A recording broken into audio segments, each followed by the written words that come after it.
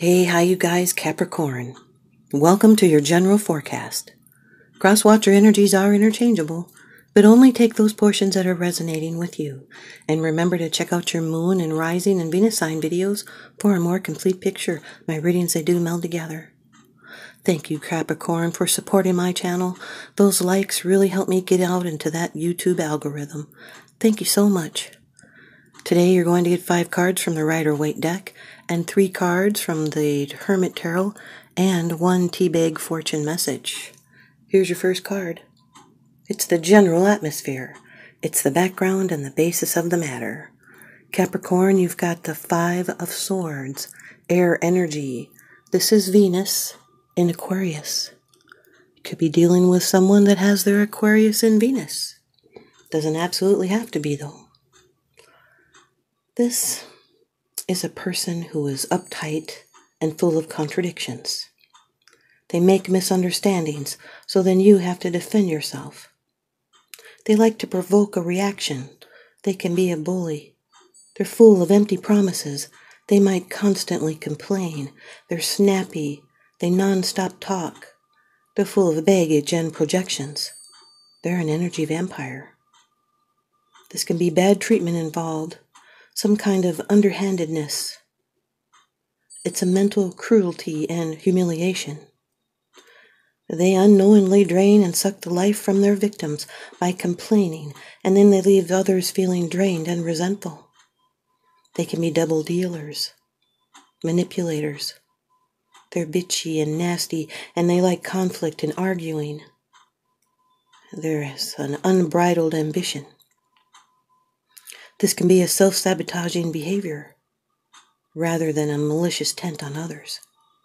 There could be hidden intentions, always keeping score on others, hidden agendas, one upmanship. There's a need not to judge before you know everything.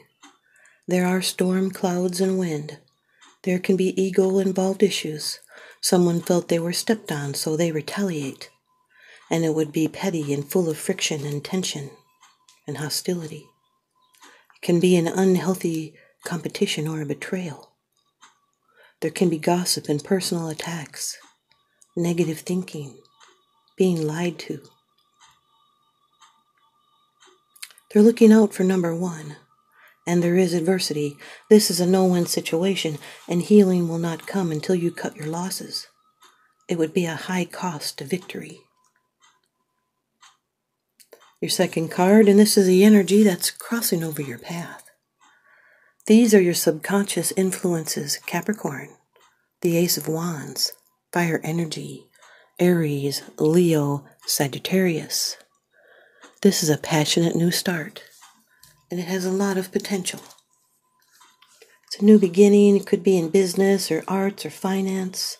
It's high pra- passion in relationships, a very strong attraction. In this position, these energies are restricted. They're being blocked and opposed. This can be a premature start, a lack of faith or it's not the time to fire things up. There could be a lack of potential or opportunity. This could be someone that misuses their power by trying to dominate or control others. Sometimes it's even by sexual manipulation. Five of Swords with the Ace of Wands is an unbridled drive and energy and passion and conflict. It's a fight where you have the upper hand. There's adversity to this new beginning or a startup. Your third card. This is how it affects you. These are the external influences that you're consciously aware of, Capricorn. The Queen of Wands, fire energy, Aries, Leo, Sagittarius. This is someone that's full of courage and determination. They're eager for the love of life and experiences. Then they nurture the qualities of fire in their self and others. They can champion the human spirit. They can offer, offer encouragement and they'll help others. They can help others find their strength. This is exercising willpower, and they may have some psychic gifts. They can be crafty. But there's they can also be jealous. And if there's problems, they can turn on you without cause, and then they'll seek revenge. They can be domineering and obstinate and unfaithful. The Five of Swords with the Queen of Wands, this is help that is not appreciated. It's putting in efforts without results, or there could be adverse adversity to your help or efforts. Your fourth card, the card of the future, the outcome, the results, and the advice. Capricorn, you've got number 11 of the major arcana, justice. This could be a Libra. This planet is associated with the planet Venus Saturn is exalted here. This can do have to do with timing, like when you least expect it. It's a card of karma, and it suggests you will reap what is sown. There may be a need to weigh things up, to find a fair and rational solution, for reason and thought to override emotion. It's weighing things up, or feeling weighed down or it's time to weigh a situation's factors to make a reasoned assessment, a judgment of the matter. You do have an ace in your reading here. And anytime there's justice with the ace, this is a decision that will carry blessings. But the ace is in a restrictive position, so it's delayed. This is self correction, integrity, and equilibrium. It calls for us to weigh everything carefully, accept responsibilities for what we have done, and to understand what the other people in the situation have done. This can represent the legal profession, a lawyer, a judge, witnesses. And remembering that actions always carry consequences. There is now a chance to change your actions for a better future. The Five of Swords with the Justice card is a perverted justice. It's unfair. It can be a crime or assault, some kind of instability.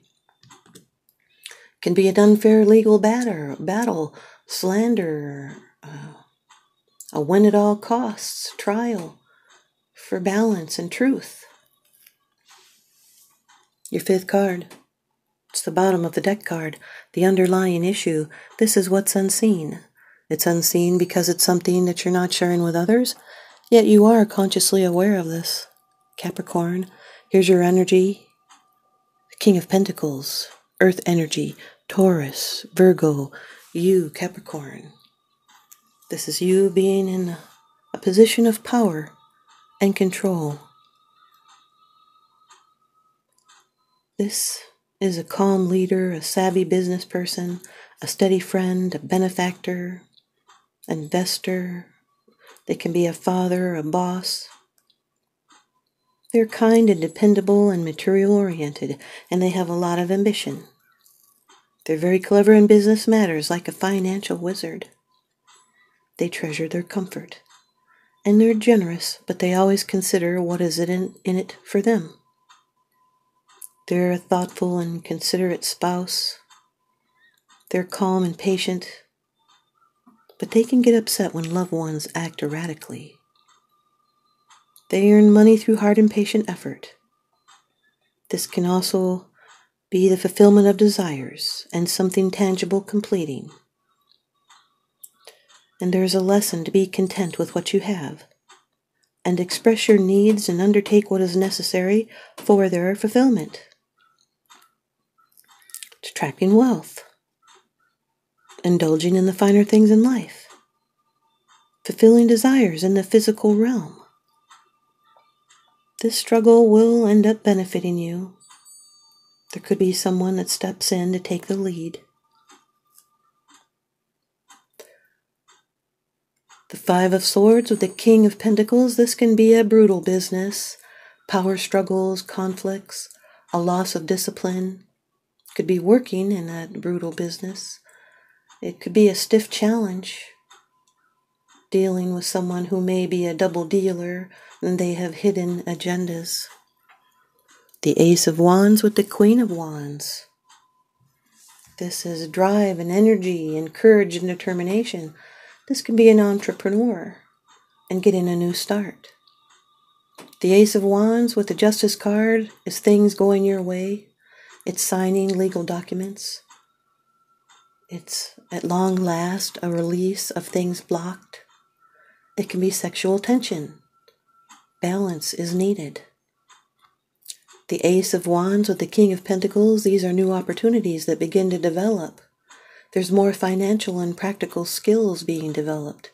This can be a new passionate potential and a job opportunity. Queen of Wands with the Justice card is upholding justice and balance. It's courage with truth and clarity. It's joy and cause and effect. This carries weight. They can be passionate feelings about fairness.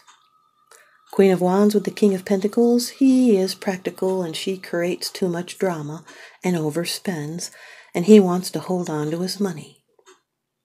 Justice with the King of Pentacles is feeling weighed down by practical matters, legal matters, tax matters. This can be a judge that gives a fair decision about business, and you'll be achieving justice soon. Here's your first of the three of the Hermit Tarot. Number seven, I dream about you a lot, like too much.